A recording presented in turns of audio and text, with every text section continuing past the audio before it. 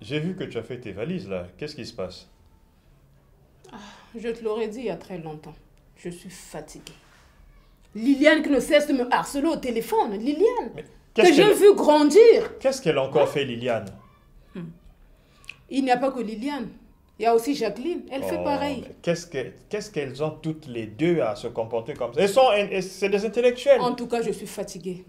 Ça, c'est la goutte d'eau qui fait déborder le vase. Je suis fatiguée. un enfant trisomique, c'est pas la fin du monde, Je suis quand fatiguée. même. Je suis Hein? fatiguée. Oh.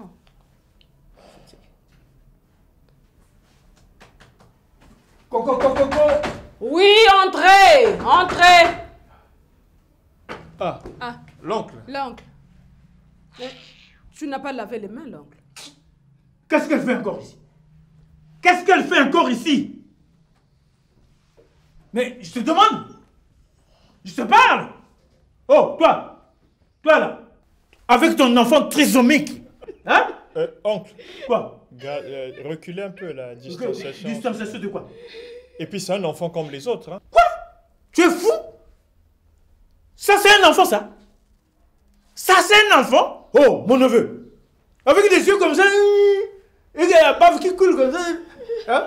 Toi, tu, tu trouves que ça, c'est un enfant Hein, toi là Si ton enfant trisomique et ta femme sont encore ici là Terminé.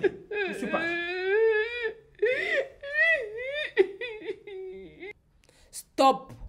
À la stigmatisation à l'égard des enfants trisomiques ou mongols.